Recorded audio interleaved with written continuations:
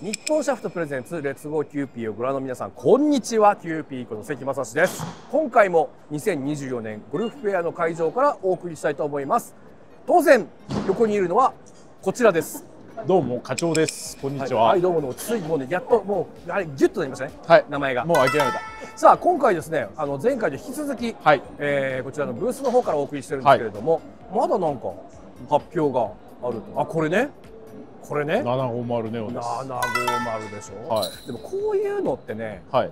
大変なんです皆さん。人気がもともとあったシャフトだから。ね、そうですね。おかげさまで。はい、750といえばあの網タイツって言われてね、はい。あの網網のあの、はい。カーボンのねあの手元側の方になんですか敷布が、はい。あの接着されててね強度を上げてたなんていう経緯がありましたが、今回はそれございません。はい。ございませんにできた人がいるってことですね。そうです。なるほど。ご紹介いただいてよろしいでしょうか。はい。えー、750ネオの生みの親。三宅でござい三ます。宅さん。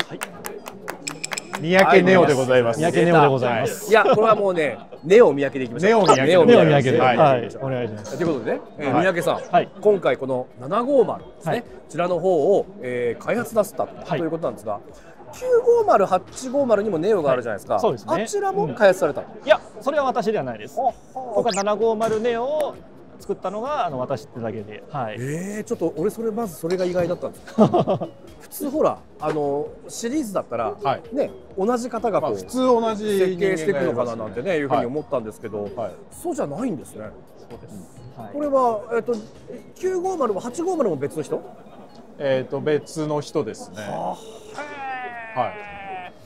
い。でもそういうまあもうね950ネオ、ねあのー発表されてからもう何年ですか、950ネオは2019年なんで4年4年ですね。前ですよねはい。4で年5年か。はい。5年前ねそうなるともう多くのはい。あのメーカーさんのはいシャフトに標準的に入ってるシそうですね。ャフトですよね、はいでまあ850ときましてこれもまたね、うん標準的に入ってはいるうんわけなんですけれども、そのまあ同じ流れをくる750、はい。ネオねはい。作ったってなると、はい。プレッシャーとかありました？いや、まあ、それはプレッシャーになりますよね。そうですよね、はいい、くらネオ三宅といえどもね これはやっぱりプレッシャー感じるところだと思うんですけどもう今まで素晴らしいものができてる中で、うんもうそれにもう匹敵できるのかなというところでもう頑張って作ったんですけど。そういうことですか？はいなるほど。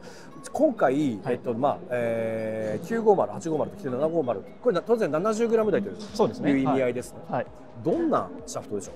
どんなじゃんそうですね、基本的にはもう 750GH をベースに作ってるので、で 750GH に対して、もともと重量軽くなってるんですよ、今回、はい同じフレックス設定でも。なんで、基本的にはその合成をそのまま下げた感じ、うんまずベースとして。で、そこから、えー、と中間から先端を少し柔らかく、うんうんうん。で先端の先端はちょっと硬くみたいな感じで作ってます。あ、はいそうですか。なんか950だとちょっと先端柔らかくなんてね、えーうん感じだったような気がしますが、少しその辺は変えてるんですね。そうですね、はい今回この750ネオ、はいえー作られて一番苦労なさったのはどの辺ですか？そうですね、まあ、やっぱりその製造上のところで難しいところがあって、まあ、その基本的に最初に作ったサンプルはあるんですけど、まあ、そのサンプルその途中の工程でどうしてもあの不良になってしまうものがなかなか多かったところがあってそであるこを改善していくのが一番難しかった、まあ、そこをメインにあの改良を重ねていったところが大きいですね。うんなるほどはね。クレアさんどうですか？あの、はい。一般の方のというか、まあ、テストもなさってるでしょうし、はい。まあ、メーカーさんにももう出してると思うんですよね、はい。きっとね。その辺のちょっと諸情状というかあの感想とかいかがですか？あのね期待以上にニーズいただいてこう聞いてたニーズ以上に反応評価が高いのがこの750ネオ特に評価高いですね。あそうですか、い、やあのーここでねちょっとあえてお聞きするのが、えっとまあ、御社ねやっぱねあの軽い軽量スチール先駆けでずっと作られてもともとね NS950GH、はい。このシャフトがね世界的に受けてもう御社ねとてもあのスチールシャフトとしての、ね、メーカーとしての地位をね確立した部分があるんですがこれちょっとな今回の 70g 台でいうと2つバッティングしててはい。ゼロス7っはい。ていうのがあって、はいさっきの 750GH、はい。はいはい。これがありますね。そうですね。この2つとの差は何かあります？か、差ですか、まあ、やっぱり今まであるその 750GH って軽量なんですけど結構しっかりしてるじゃないですか。ね。かなりピンピンしたシャフト、うん。でそれに対して07は逆にかなり柔らかいんですよ。そうですね、うん。その間が欲しいって方がやっぱり多いと思うんですよ。その間を狙って作ったなるほど、はい。なるそうするとどうなんですか？弾道イメージみたいなのなんかあるんですかね、まあ、基本的には 750GH と07の間を狙ってる。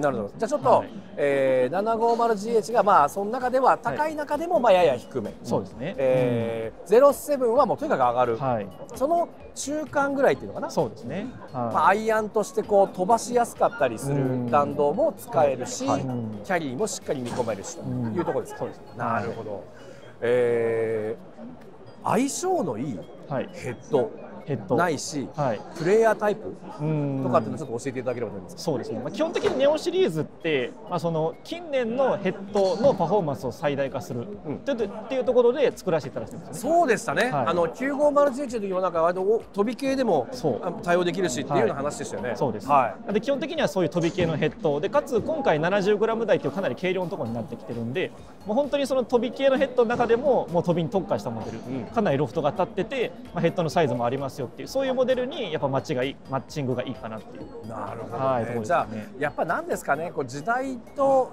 に即したはい。シャフトというか？そうですね、はい。なんかどうでしょう、あんまこういうことをやぼったいこと聞くのはあれなんですけど、はい。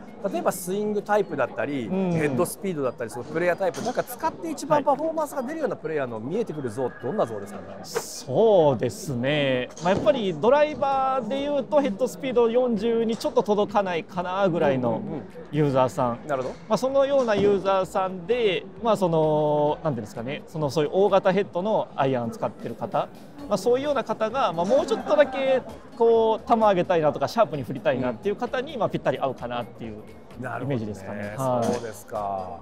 さあ、クレアさん、これははい。いつ発売ですか？これは3月13日新発売。どうですか？メーカーさんのカスタムにだいぶ入ってるって話聞きますけど。そうですね、ええおかげさまでね、えあのちなみになんですけど、はい。例えば、まあ、70g 台っていうの選択肢の中にこれカーボンシャフトっていうのも入ってくるわけですうよ。ん。なんですね、でもそれをゼロスだったり、はい。まあ、これこれ 750GH、はい。あうん。JC もしくはネオだったりするんですけど、うん。まあスチールで行った方がいいですよっていうタイプって何かありますか、そうですね、まあ、そのスチールシャフトのメリットっていうのが基本的にはトルクを小さくできるっていうところが大きい。ので、ね。